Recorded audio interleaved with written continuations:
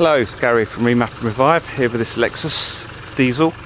Uh, it's got a block DPF, in case you couldn't realise.